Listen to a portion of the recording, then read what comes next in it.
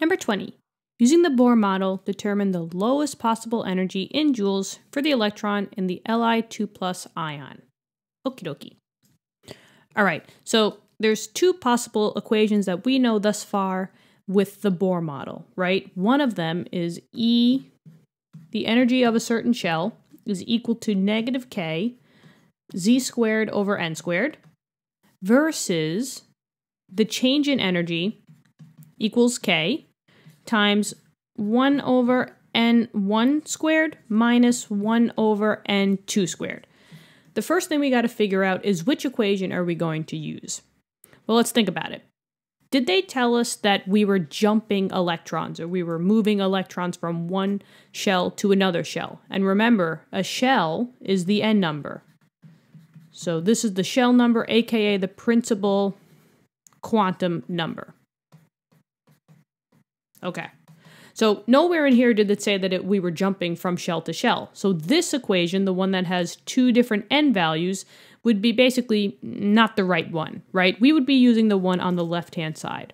So I'm just going to erase this one because this one is not the one that we're going to be using, but that's how you kind of like deduce your thought process um, on the test or quiz, all right? So now we just got to figure out what all these constants are so that we could plug it in. Well, remember k is a constant number. It's the Rydberg uh, constant, which is 2.179 times 10 to the negative 18 joules. So we know what the K is. Z is called the nuclear charge. And the nuclear charge is basically the, another way of saying this is the charge, charge of the nucleus.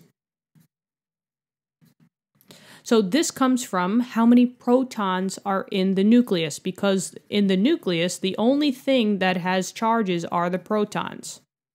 And that's why I gave this lovely diagram of the lithium that you would find on a periodic table. Lithium's atomic number is always 3, which means that in ground state, meaning no charge, you should have, so I'll just put this, ground state means no charge. In ground state of a lithium ion, it should have three protons, which would give us a plus 3 charge, and it would also have three electrons, which would give us a negative three charge, making the whole thing neutral, ground state. So, what would be the nuclear charge, the Z of this one? Well, it's just the protons, and the protons here are three. So, in this case, the Z would be three, or a plus three, technically, because it's positive. Now we just have to figure out what the N value is. Okay, well, they tell me that it's a lithium 2 plus ion. What does this 2 plus mean? Remember, the um, numbers in the upper right hand corner are always the charges. So plus 2 means that you, I'll just say, lost two electrons. This goes back to your isotopes in chapter 1. So if, if you feel that you may need more practice, just go back to chapter 1 and find those questions.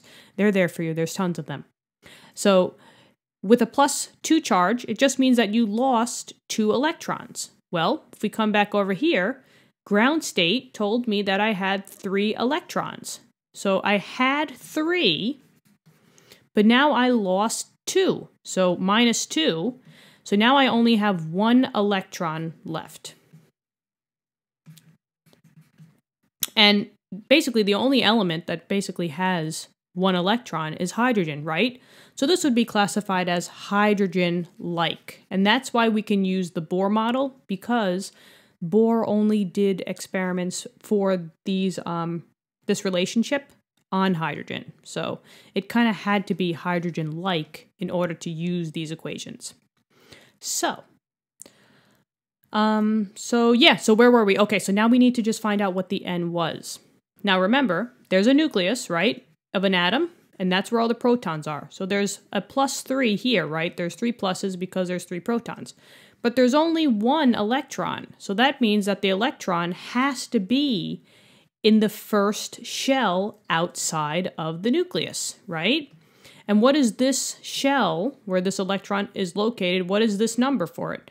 This would be n equals 1 because it's the first shell off of the nucleus. So now we know that we have an n equals 1 number.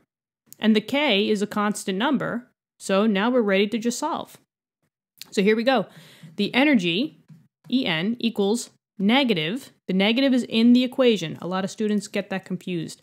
So 2.179 times 10 to the negative 18th times z, which we said was a plus 3, and that's squared, all over n squared, which is just 1 squared. So basically it's over 1, so I could just multiply the numerator. So the energy in joules of this lithium 2 plus ion would be negative 2.179 times 10 to the negative 18th um, times 3 squared is technically 9, so just times by 9. So you get a negative 1.96 times 10 to the negative 17th, and that's in joules. En is always in joules. So box that answer off. That's the answer to this problem. Easy peasy, lemon squeezy. but yeah, so make sure that you know how to use this formula. Make sure how you know how to get those variables, z and n. And but that's all that it is, and then just using the formula and solving. So thanks for tuning in, guys. Hope this helped. If it did, click the like button. Let me know in the comments. Love to hear from you guys. Um, yeah, other than that, I mean, we're just gonna keep rolling, right? How are you guys doing in your class? Let me know. I'd love to hear from you. If you want, you can click the subscribe button.